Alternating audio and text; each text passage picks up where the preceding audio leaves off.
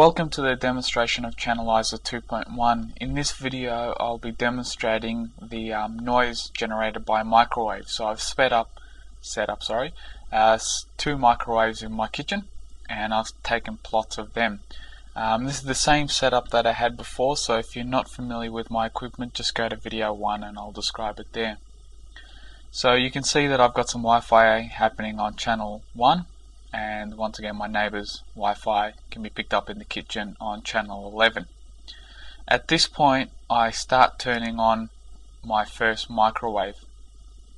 Okay and we'll start seeing some noise there. You'll see immediately um, in my topographic view that I'm starting to get noise mainly centered around 6, 7, 8, 9, 10 okay and it's got a pretty distinctive pattern.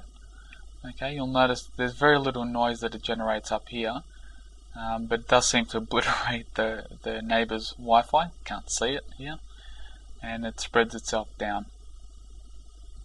Okay, so I'll just fast forward a little bit.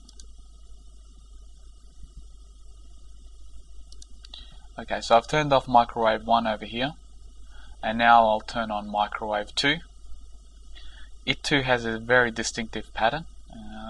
Very reminiscent of the last one. You can see more noise that it generates over here, while it seems to have um, this scanning pattern.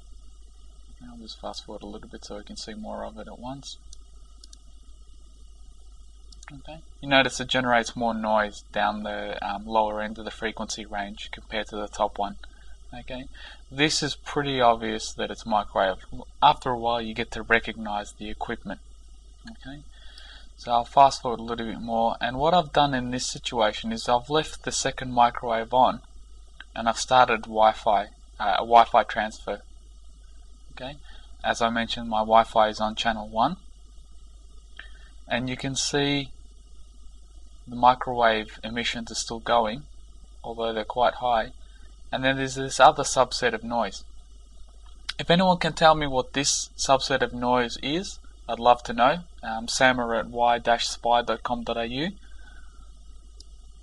and so I'll just fast forward some more. I turned off the first microwave and now I'm turning on the second one. Okay, you can see um, its a pattern of noise. It's a little bit harder to see than the previous one, um, but at all this point the transfer keeps on going, albeit for this small section here. Um, so on channel 1 in this case, um, in my using my equipment and my Wi-Fi and my microwave, the um, the Wi-Fi is unaffected by microwaves. We'll continue the demonstration of the microwave. What I've got here, just fast forward back to the start, is I wanted to see what would happen if the microwave um, would affect the transfers if I moved my Wi-Fi to 6. If you remember, on the previous situation, the microwave traffic seemed to be centered on, or would affect channel 6, centered around 8. So I wanted to see what would happen in that case. And this is what I've done in this situation. So I'll just fast forward a little bit, we'll move the time scale up to a minute. And you can see here, there's my Wi-Fi, there's the neighbor's Wi-Fi once again sitting on channel 11, my Wi-Fi on 6. So first thing I did was I started transferring my file. Okay, so you can see it here, I'll just press play.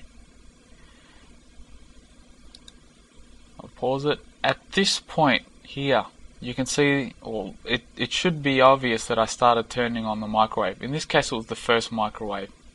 You can see that I'm starting to drop um, Wi-Fi packets ever so slightly around here.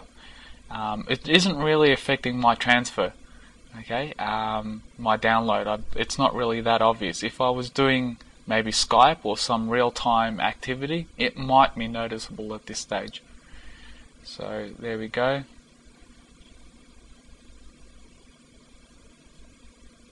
And I stopped microwave 1 at this point so it becomes clean again.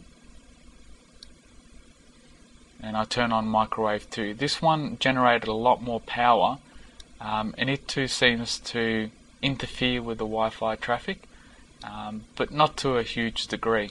Okay, it is definitely larger than the first microwave, um, but once again, it the my Wi-Fi traffic keeps on going. And just to reiterate the point, um, that in my case, using my equipment and my microwaves, that um, the microwave doesn't seem to have an effect on my Wi-Fi traffic.